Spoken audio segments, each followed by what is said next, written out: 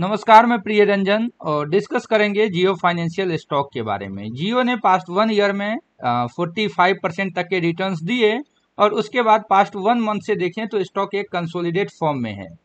आज जियो financial service लगभग 1.3 percent की तेज़ी और रिलायंस लगभग 3 परसेंट की तेज़ी पे ट्रेड कर रहा है। और इन दोनों के तेज़ी के कारण क्या रहा है कि जियो ने अपने टैरिफ के प्राइस को हाइक करा है। लगभग ten to twenty five percent के आसपास का, और यही कारण है जो रिलायंस और जियो फाइनेंशियल सर्विस दोनों ही तेज़ी में दिख रहा है। यहाँ इसकी डिलीवरी तो बेटर दिख रही है, लेकिन जो ट्रेंड है वो कंसोलिडेट निगेटिव ही दिख रहा है। और अपडेट में देखेंगे तो बीटा ऐप कंपनी ने एक यूज़र फ्रेंडली इंटरफेस लॉन्च करे थे, जहाँ bill settlement UPI transaction insurance advisory वगैरह के सर्विसेज़ को आप इनेबल कर पाएँगे।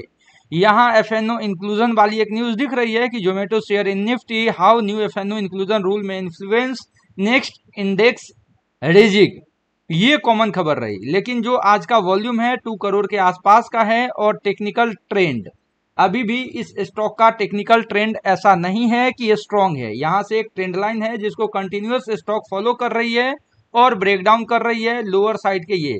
ये जो टेक्निकल ट्रेंड इस समय है ये लोअर लो लोअर हाई का ट्रेंड है। और ऐसे में मिनिमम ये वाला जो रेजिस्टेंस है यानी 368 के ऊपर की क्लोजिंग जब तक नहीं दे डेली टाइम फ्रेम पे लॉन्ग ट्रेड नहीं इनिशिएट करेंगे।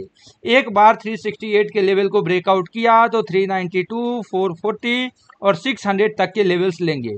वीकनेस इस स्टॉक में अगर देखा जाए तो 336 के नीचे ही है। इस समय ये पॉजिटिव कंसोलिडेट फॉर्म में है, ना कि निगेटिव कंसोलिडेट फॉर्म में लेकिन बड़ी तेज़ी के लिए 368 के ऊपर का क्लोजिंग काफ़ी इंपॉर्टेंट